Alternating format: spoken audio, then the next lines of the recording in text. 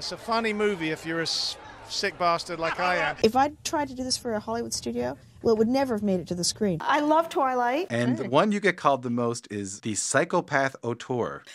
Oh, wow. Hi, I know what you might be thinking. How will this video be any different to the dozens of other videos on this platform made by film bros about this movie? I thought you were just a nerd with a film degree haunted hippie. What are you gonna show me that I haven't seen before? I actually don't know because I haven't watched anyone else's video essays. Seemed like all the ones that popped up on my search page were made by dudes and that just didn't interest me. But this is not just gonna be like 30 minutes of me rambling about cultural subtext. I actually did my research. I watched the feature commentary, the making of. I tracked down every archival interview that I could find so that not only will I be spouting off my own opinions, but I will be including relevant interview insights as well. This will function both as a deep dive into the film and a review of the film itself. If that sounds good, I hope that you stick around, click subscribe, hand over your soul even. What? Yeah, give me your soul. This is my online virtual cult or coven, whatever you feel more comfortable with. My subscribers are my devoted little subjects. They're my little maggots. You could be the axe to my Patrick Bateman. Engaging with the video also helps me out a ton, so don't be shy, babes. Also, make sure to click the notification bell, that way you never miss our next meeting. In today's meeting, there will be a lot of spoilers for American Psycho because it is a deep dive after all. I'll need to pull context from the movie constantly, and so if you haven't seen the movie, I highly recommend that you go out and see it. Go watch it, and I will be right here waiting for you when you get back. All right, let's get into the story of American Psycho. First, by diving into a bit of the background information on the novel, which was written by Bret Easton Ellis, and it was released March 6th of 1991. At first, he wanted to write a book about Wall Street set in New York and have it be fairly realistic. But I was hanging out with these young guys who were working on Wall Street and was doing research, having dinners with them, going to clubs with them, never being taken to their offices, never being taken to what was going on in their companies. And one night, while I just saw this parade of status one upmanship who has the best suit, who has the best house in the Hamptons, who has the hottest girlfriend, I suddenly, out of the blue, thought, Patrick Beam's a serial killer. Imagine being part of an industry filled with so much soul rot and bullshit that Bret was like, mm, mm-hmm, I could be surrounded by serial killers right now. It reminds me so much of that one clip of Robert Downey Jr. when he visited Wall Street in the early 90s. I have to play it because I just fear that not enough of you have seen it.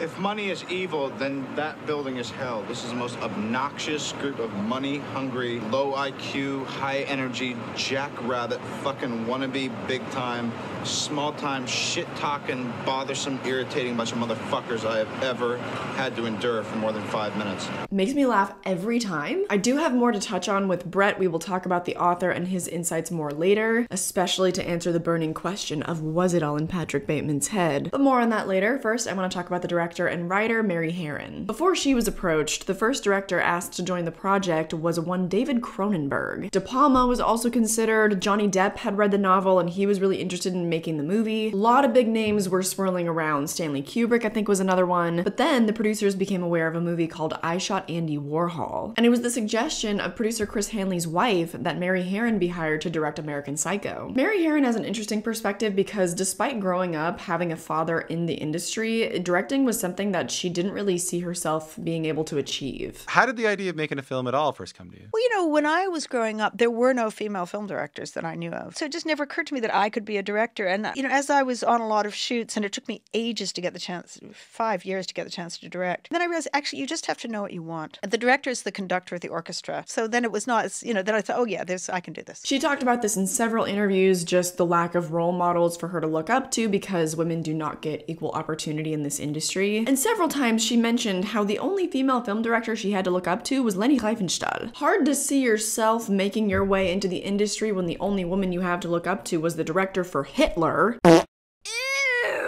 We've come a long way since then, still not where we need to be, but it's gotten a lot better. She first read American Psycho the year that it came out, and she was an instant fan. She understood immediately that it was a dark comedy, that it was a critique on society, but other women, not so much. This article is referencing kind of the body of work of Bret Easton Ellis. Upon its release, it was widely condemned as being too graphically violent, outright misogynistic, and got him labeled as a sadist. Petitions were signed to ban the controversial book, a contemptible piece of pornography, and Ellis was dropped by his then publishers, Simon & Schuster, Schuster because of aesthetic differences. The controversy led to death threats, and American publishing house Alfred A. Knopf decided to release it as a paperback. There were protests by the National Organization for Women. They opened up a hotline, so over the phone, they would read some of the most graphically violent passages from the book, just doing the absolute most, which is wild because the book itself, not just the movie, takes this kind of postmodern stance. So I have to, you know, question the legitimacy of these feminists. It reminds me of a lot of the current scrutiny that Martin Scorsese finds himself under, where, you know, he puts the worst person in the world as the lead of his films, usually played by Leonardo DiCaprio. And yeah, we see things from their perspective, and yeah, there's a lot of debauchery that takes place in his films, but that's the point. The main character is the bad guy. Sometimes that really just kind of whoop for people, you know what I mean? Anyway, all of this feminist outrage kind of leaked into the making of the film. And then it was a very good idea to get a woman to do it because I think it helped to neutralize some of the controversy. I think there were things that I thought were crystal clear in the book that it was a critique of male behavior. The world just didn't see it that way, I guess. Literacy in unpacking subtext was still pretty low in the 90s. That goes along with a note that I often make about a lot of critics. If you're not going to at least consider the intentions of the filmmaker, then why are you reviewing their work? The bias is always so obvious and so ugly. Because let's consider who made American Psycho, the writers. Guinevere Turner, a lesbian who had just written Go Fish. I just found out about it and immediately put it on my watch list. It's a romance about two lesbians in Chicago. Guinevere Turner also plays Elizabeth in the movie. What a talent. And then Bret Easton Ellis also has a writing credit technically on the movie, but in all the behind the scenes and interviews and stuff, it sounds like it was Mary and Gwen that wrote the script. I think that Bret Easton Ellis has a writing credit on IMDb or something because he wrote the book, so obviously he has the story by credit. Anyways, we already talked about his intentions with the book, but Mary Harron, one of the leading writers of the script, she attributes her entire career to feminism. Well, I feel like um, if there was no feminism, I would not be making films. But then, you know, there were so many film directors, and, and I'm always asked, like, why aren't there more? It's like, well, when I was growing up, there was nobody practically. And and look at,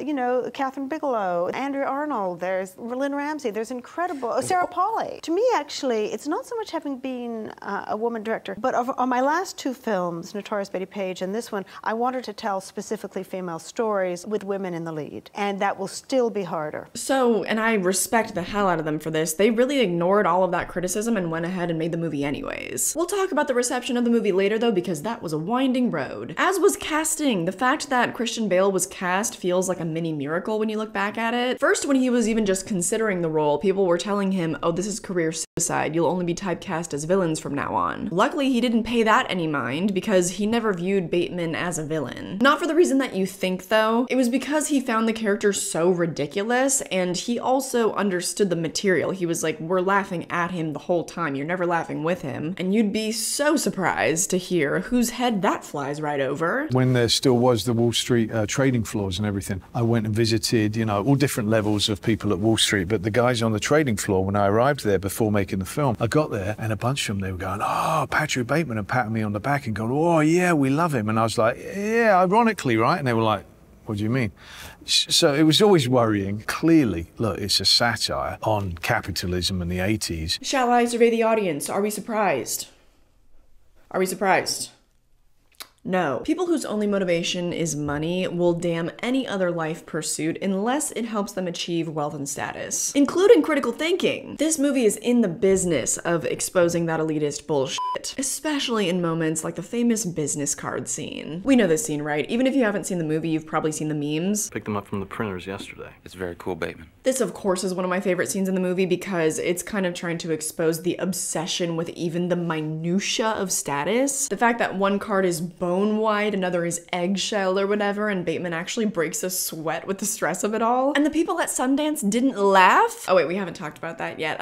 More on that later. Did you know that Christian Bale could actually make himself break a sweat on cue? Fun fact. Anyways, I went to private school for college, and the male bravado you see at midnight at a water polo team party, let me tell you, I would go on record and estimate that about 50% of those guys developed an alcohol addiction just to impress the boys. The status of being able to drink the most, to sleep with certain girls, to be able to to fuck around their entire college career because whether or not they graduate, daddy will give them a job at the company no matter what. If you couldn't tell, fucking nerd over here, ever a perpetual student, still writing video essays on YouTube, those guys and others that come from money or whatever, with no regard for education and their health, only had the sole interest in instant gratification. And yes, they were all severely addicted to their vapes, all in the name of chasing male validation. I mean, can you say gay? Anyways, Patrick Bateman is the exaggerated, hilarious, worst case scenario version of all those men that I have met. And he almost wasn't played by Christian Bale. Leo DiCaprio was originally the frontrunner for the position, which Mary Harron was vehemently against. In the From Book to Screen featurette that you can find on the 4K, she talks about the fact that you can't take the love interest from Titanic and then throw him into her dark script. It would have had to be rewritten and it would have ended up not aligning with her vision at all. She stuck to her guns so much, in fact, that she left the project. This is after she'd auditioned Christian. She really wanted him for the role, but it was a tough sell. She couldn't really convince the producers. But Christian understood the vision. He understood that the character didn't need to be changed, didn't need to be given a psychological backstory or motivation, and he didn't give up. She really put herself on the line, you know, and I, I so appreciate that because she had so many known actors who, who were stepping up and wanted to do it. And she just said, no, I want Christian, even though all the financiers were saying, we're going to give you no money. And then actually kicked the two of us off. Uh, you know, we went and we did a stage reading in New York for it. Uh, Willem Dafoe was there, Chloe Sevigny was there, and uh, Bret Easton Ellis was there. And then we got the money. Yay! But what our agents forgot to do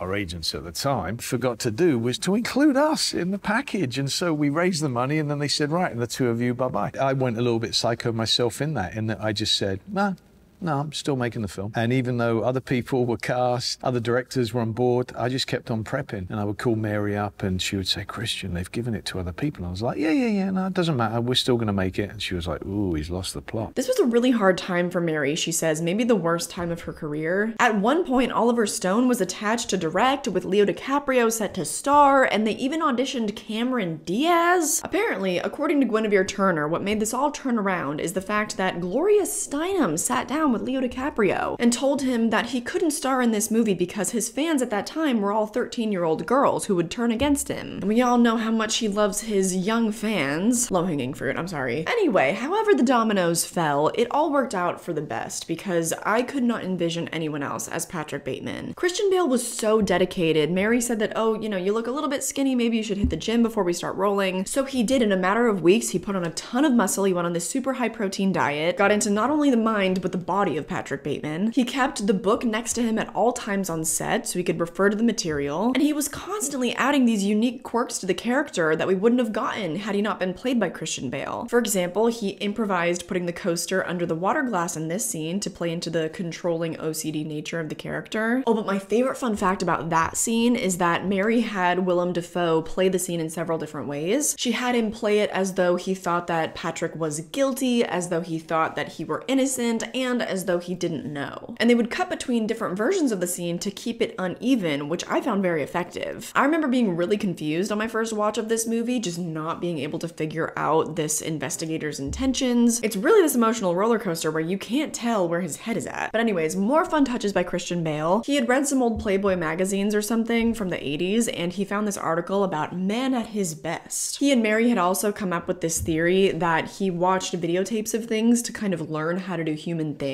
For example, by watching porn to learn about so he came up with his character taking inspiration from the Playboy magazine to set up a really proper date. When he invites the escorts over, he's dressed up in a tux, he's offering beverages, very formal. That is also a scene that you just get this undeniable feeling that a woman directed it because it's so awkward. These women are not framed through the male gaze, they look uncomfortable because Bateman is a weirdo. The camera isn't going up and down her body as she's dancing. You can see her face, which is very awkward, and we get a wide shot of the whole awkward picture. Mary Harron said in the director's commentary that she really wanted to stress the fact that these women were just here doing their job. They didn't want to be here. I think that given the trends of the early 2000s, especially, if a man had directed this in 1999, these women probably would have been a lot more objectified. But this is where I'm talking about with people not paying attention to the intentions of the filmmaker. Did the people outraged about this movie and the graphic deaths of these women even pay attention to how these women were framed? Did they take notice that there wasn't really any type of objectification going on? That we got got to read a lot of the women's emotions in this scene? I don't know. I don't think so. On that note, though, you might notice that most of the women in this movie really only have one dimension to them. Pretty much every woman except for Christy, maybe, is one note, very shallow. Christy gets to be the audience surrogate sometimes, so we kind of react to things with her, but that's about it. But his secretary, Jean, she's just this timid thing that answers to Bateman's every whim. Courtney is just this drugged up nothing burger of a person. In my opinion, that comes off like a very deliberate attempt to convey how men like Patrick Bateman view women. Each woman has her function and how she serves him. One note, not complete beings. There's also the more obvious scene where he's with his buddies and they're just kind of laughing about, oh, a woman can't be attractive and talented.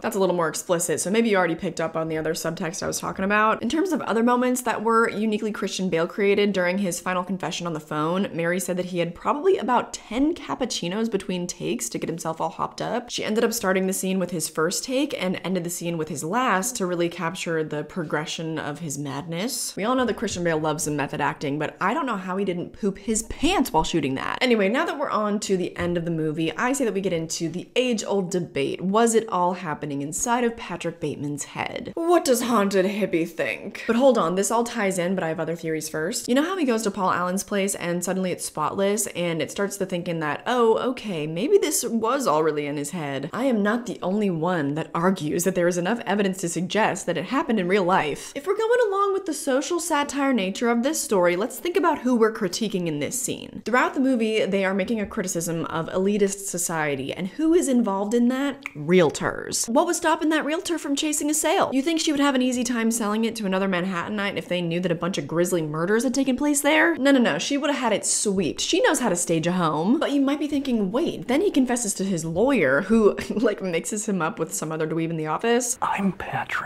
Bateman. Because it's true, all those men are the same. There's no individualism under capitalism, baby. And what a good running joke that was. Oh, I loved it. Everyone mixing everyone up, especially the poor security guard he shoots. I cackle. I'm not gonna hold you. My sense of humor is a bit fucked. Sorry, sidetracked. You might be thinking about the end where he tries to confess and the lawyer is like, that's not funny. I had dinner with Paul Allen in London. Listen, a lawyer with that many high profile clients that keep him on retainer, you think he wants them to see him get caught up in a serial murder case? He can't risk his career like that. He doesn't want to be dropped by all those clients. Of course, he's gonna cover up for Bateman if it means he gets to maintain his status. That's what the whole movie is about. Bateman can't even confess and break up with his fiance because she's like, well, but we have the same friends. I really don't think it would work. Who cares about love when we made it to this social circle, baby? That's right, I'm on team reality, and guess who else is? Well, the one thing I think I, is a failure on my part, people keep coming out of this film thinking that it's all a dream, and I never intended it. I wa- all I wanted was it to be ambiguous in the way that the book was. Why did they think that? I think it's a failing of mine in, in, in the final scene that I, I just got the emphasis wrong because I should have left it just more open ended. I guess clearly, because people keep saying this to me, it makes it look like it might all, it was all in his head, and it's as far as I'm concerned, it's not. The director's on my side, the director's on my side. But even if she wasn't, it pretty much doesn't even matter if it was all a dream. When I was working on it, the three years I was working on it, I didn't know. I had no idea. I went back, I went forth, I went back and forth, I went back and forth. And it wasn't interesting to me to answer that. It was a much more interesting book without that being answered. And that it really drove me to write that book without knowing that answer, without knowing whether this was true about Patrick or not. Sometimes I thought it was real, and I wrote it that way. And then other times I realized that couldn't have been real. But then I'd get a little bit further on and go, well, that could have been real. There you have it, folks. Even the author of the book does not know. Because that's actually not what matters at all. The point is delving into the perspective of white male power, Reagan's America, and the destructive nature of it. The point of the film is the social that were so on point I had no choice but to laugh. It's one of the funniest movies I've ever seen in my life, probably the best satire ever made. Even funnier when you know that Wall Street bros love the character of Patrick Bateman, because he's such a loser. God, I love this movie, and it took me until my second viewing to really appreciate it. The first time around, I didn't quite grasp what was going on, and neither did a lot of people. The reception to this movie, like I said, was very hairy. The initial reaction to American Psycho, you know, a lot of it was very hostile. And indeed, it was, was I don't think, considered a success when it first came out. And now it's, you know, I'm always amazed at how, how it's been reclassified as this film that, that everybody seems to love. It's like, oh, didn't everybody hate it, you know, 10 years ago? It's one of those classics like The Thing or The Shining that people just didn't really get the first time around, except for a select few. On the director's commentary, Mary Harron talks about the premiere screening at Sundance. She said that she and the crew were laughing hysterically at the movie, but the rest of the audience was silent because she guessed that they didn't really know if they were supposed to laugh. For the rest of her time at the festival, people in the hotel or just walking around, she would kind of eavesdrop on people and hear them talking about how much they hated the movie. One very important person did receive the movie positively, though. Damn it, let's get That's what everyone wants to know. Yes, I like the Yeah. movie. I know. I think it clarified the themes of the novel. It clarified that the novel was actually a critique of male behavior. I think a lot of people don't realize that uh, who haven't read the book. And so it clarified that and also brought the humor of the book up to the surface. I think the author loving the film is one way to know that you've done something right. Everyone who made the movie was on the same page. It just took a little while for everyone else to catch up. Much to my surprise, though, a famous critic who is usually very tough on movies, Roger Ebert, had some pretty positive things to say. It's just as well a woman directed American Psycho. She's transformed a novel about bloodlust into a movie about men's vanity. A male director might have thought Patrick Bateman, the hero of American Psycho, was a serial killer because of psychological twists, but Mary Harron sees him as a guy who's prey to the usual male drives and compulsions. He just acts out a little more. Look, the girls that get it get it. Maybe you noticed in the movie we never see anyone conducting any actual business. They're just out at bars and restaurants all the time. There's a throwaway line about how Patrick's dad basically owns the company and him and all these other dudes are vice presidents. So their dads are also probably the board of advisors or something. What do men with that much money and power and status do with their time when they don't actually have shit to do? Everything becomes a competition, a vanity affair, a power play. Hence why so many people, especially women, became these disposable pawns to Bateman. Why even the slightest difference in the font on a business card caused him to break out in a sweat. When Bateman kills, it's not with the zeal of a villain from a slasher movie, it is with the thoroughness of a hobbyist. Lives could have been saved if instead of living in a high rise, Bateman had been supplied with a basement, a workbench, and a lot of nails to pound. His point that I agree with is that Bateman is sort of the natural conclusion to his environment. Unchecked male privilege is a cancer in this society, it's why we have capitalism, and yet the world still moves for those men, as demonstrated in the movie. I was surprised to find the New York Times had posted a positive review when this came out in 2000. Watching American Psycho is like witnessing a bravura sleight of hand feat. In adapting Bret Easton Ellis's turgid, gory 1991 novel to the screen, the director Mary Harron has boiled a bloated stew of brand names and butchery into a lean and mean horror comedy classic. The transformation is so surprising that when the movie's over, it feels as though you've just seen a magician pulling a dancing rabbit out of a top hat. Like I said, though, the movie only had a cult following at first. There were only a handful of critics that really got it. From a budget of 7 million, it grossed